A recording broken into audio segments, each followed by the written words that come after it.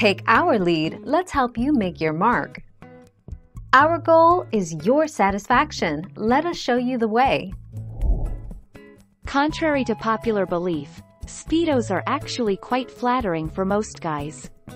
While you may think you need a killer six-pack and beefy glutes to rock a Speedo, the swim brief cut works well on almost any body type.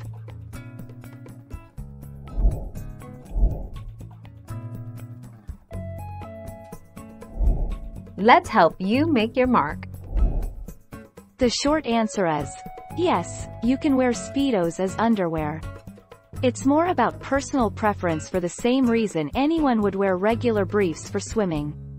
Just keep in mind that Speedos might not be as breathable and sweat-absorbing as normal briefs due to the fabric composition.